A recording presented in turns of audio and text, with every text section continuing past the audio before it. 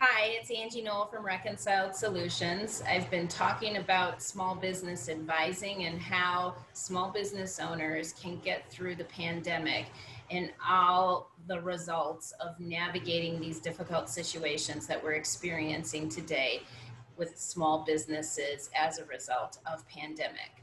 The thing that's been coming up lately is that some employees of small businesses are not very interested in coming back to work given the cer- certain circumstances of their individual situations and just the environment at large. This is a problem for small business owners who are already struggling to make it with all the shelter in place and all the different factors we're having to overcome. So, originally, when the pandemic started, what the government did was to allow businesses that were sheltered in place and could not be open, employees of those businesses were able to apply for unemployment with an extra $600 per week bonus.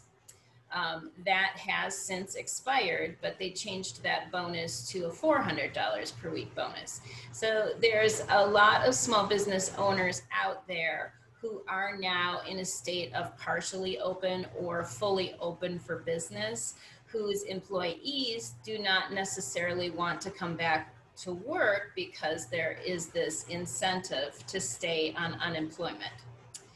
As an employer, this can be very, very tricky what I can say is that unemployment claims have to be verified through your state portal. So in Illinois, that's the Illinois Department of Employment Security, IDES.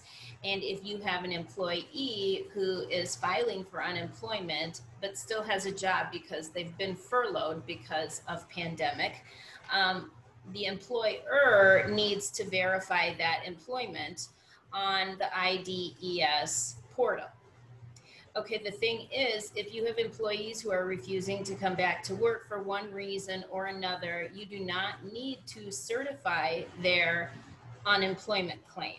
So you do have the right as an employer to go to IDES, to your portal, and certify that there has been an opportunity for the employee to return to work and get some stuff done. So that is one way that we can get employees back to work it's not a very fun way, but I want employers to know that we do have this right because we do need qualified, good workers to help us get our businesses back on solid footing after all the troubles and financial crisis that we are experiencing as a result of pandemic.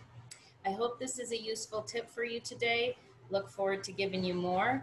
Again, it's Angie Knoll from Reconciled Solutions, helping you find peace and organization with your finances.